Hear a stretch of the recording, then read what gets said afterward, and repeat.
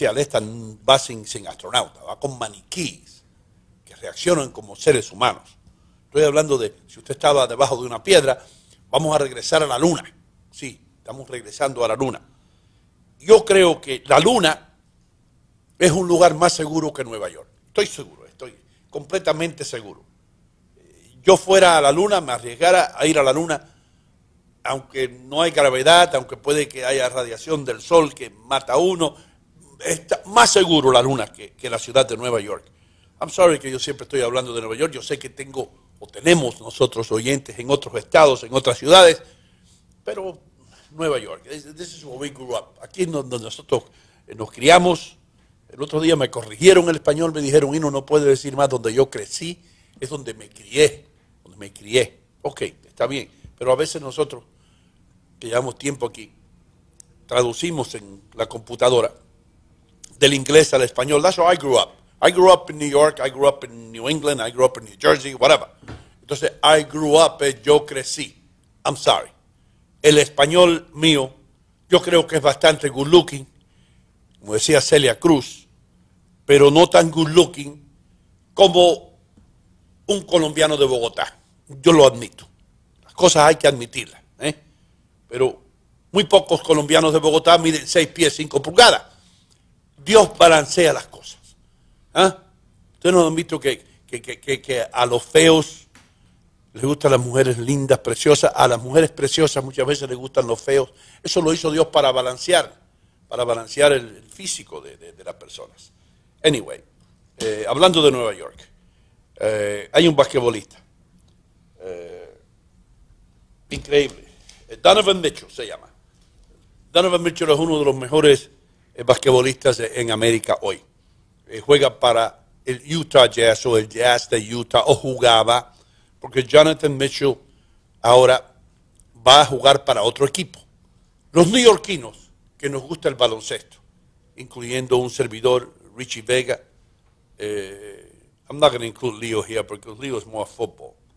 Eh, pero personas así que, que, somos, que, que, seguimos la trayectoria de los Knicks de Nueva York, de los Brooklyn Nets, para quienes trabajé por años, eh, seguimos la trayectoria del basquetbol, del baloncesto tenemos que dar cuenta que Mitchell era el perfect fit, era la persona que hacía falta en Nueva York, en la 34, en Madison Square Garden, la meca del baloncesto en el mundo.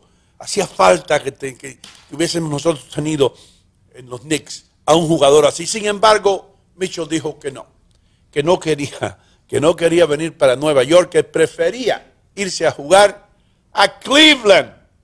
Cleveland. Cleveland. Jesus Christ. You know, ¿qué es lo que hay en Cleveland? ¿Cuántas veces ustedes han escuchado a alguien decir, me voy de vacaciones a Cleveland? ¿Eh? Tengo una sobrina en Cleveland que me dijo que le va súper bien. O el turismo internacional está llegando a Cleveland para el 31 de diciembre. No, nadie habla de Cleveland. Cleveland, Ohio. Allá lo que hay es plantaciones o plantations, cosechas de maíz y frijoles y vainas de esas. Eso es lo que hay allá. Y el Hall of Fame, yo creo, de, del fútbol, de, rock and roll Hall of una vaina.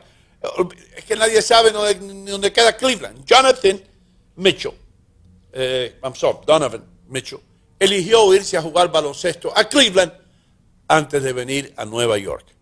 Ahora, muchos de ustedes saben que yo he estado envuelto en, en el baloncesto por mucho tiempo. Y tengo algunas conexiones en la NBA que a veces uno escucha cosas que no debe escuchar. Y dicen los rumores, dicen los rumores, y también ABC Radio, que Jonathan Mitchell, uh, Donovan Mitchell, se me olvidó el nombre del tipo ya.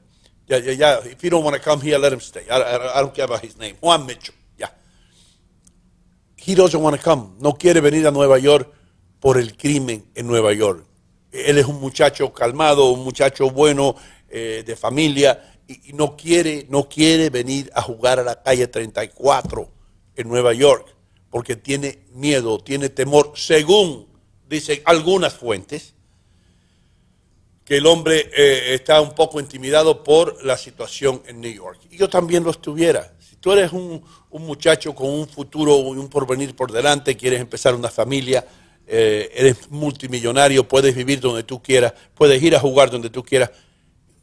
What business do you have coming to New York?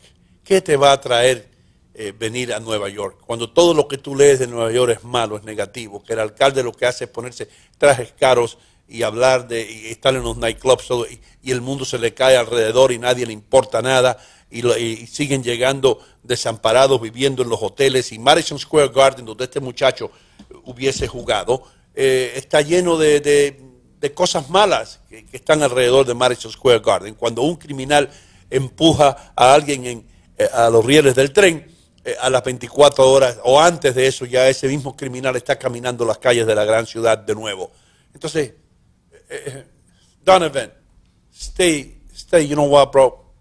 Stay over there. Stay far away from New York. Yo hubiera hecho lo mismo.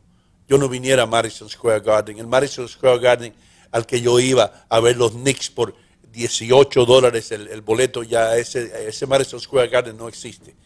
Yo creo que fue Thomas Wolfe que dijo, you can't go home again. You can't go home again. No puedes regresar a casa. Es imposible regresar a casa nuevamente.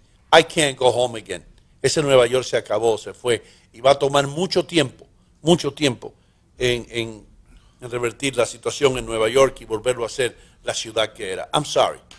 Eh, no quiero seguir hablando cosas negativas, pero en las noticias, en los menticieros te hacen recordar cosas eh, nostálgicamente hablando, eh, que te remontan a, a otros tiempos. El tiempo cuando todo el mundo salía de, de, Madison Square Garden después de una victoria de los Knicks.